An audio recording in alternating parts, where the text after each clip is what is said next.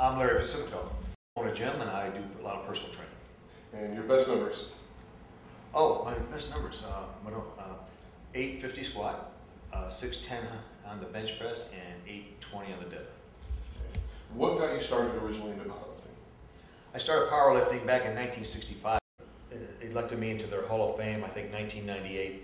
And uh, you know, Bob Hoffman, who was this, you know, who started York Barbell, you know, way back in the 30s, uh, you know, really was supportive in powerlifting, and he promoted the very first World Championships in 1971 in uh, York, Pennsylvania.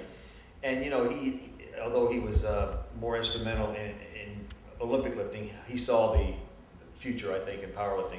Right now, more countries participate in powerlifting. Actually, twice as many countries participate in powerlifting than Olympic lifting. And he's always tried to get it going into the Olympic Games, and along with other people, Joe Weider and that bunch.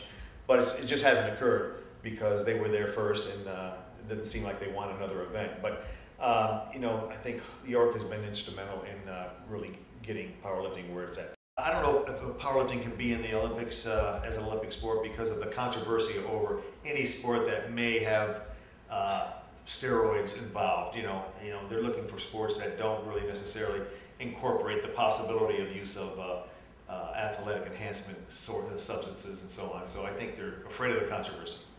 I think what will get powerlifting into the Olympics is for it to all go back to raw. Uh, years ago, we were on TV a lot. In fact, I did color commentary for CBS, NBC way back in the 70s and early 80s.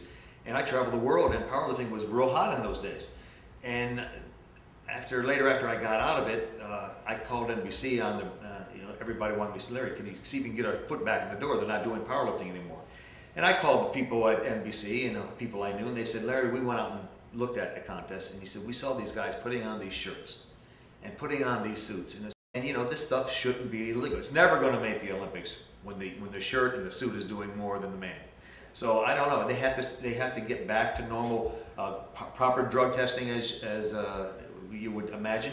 Uh, get where equipment's just normal, maybe knee wraps, belt, and go out there and get at it.